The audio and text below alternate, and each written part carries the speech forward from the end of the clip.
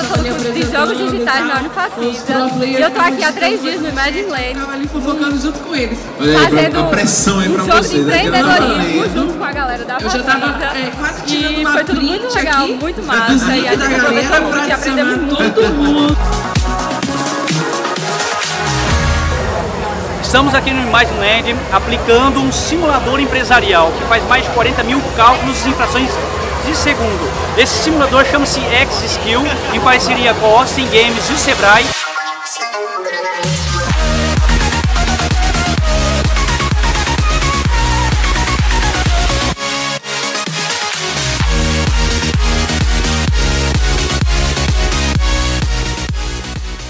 Olha, foi uma experiência incrível, certo?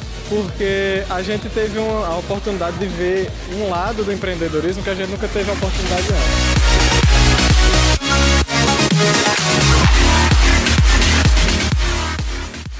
Bom, eu acho que o maior ponto é a gente conseguir fazer tudo. Em equipe, né, dentro da universidade, eu estou formando, a gente não tem tanta oportunidade de trabalhar junto com outras pessoas. Então, tanto a Copa proporcionou isso, como também o evento em si proporcionou mais é, Conexões.